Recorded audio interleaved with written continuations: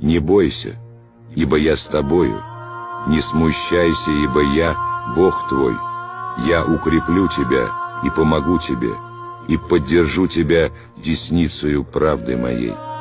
Ибо я Господь, Бог твой, держу тебя за правую руку твою, говорю тебе, не бойся, я помогаю тебе.